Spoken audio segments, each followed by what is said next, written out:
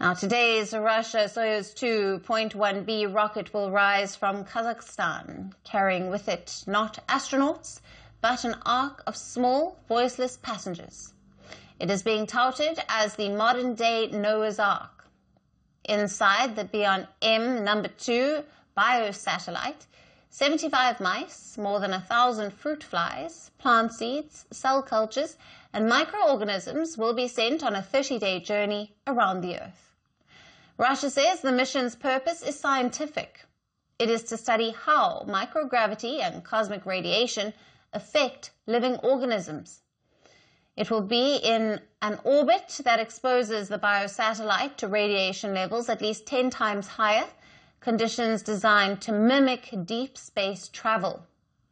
A knowledge deemed vital for future deep space travel, but behind the clinical language of science lies a grim truth. Animals are once again being sacrificed to push humanity forward.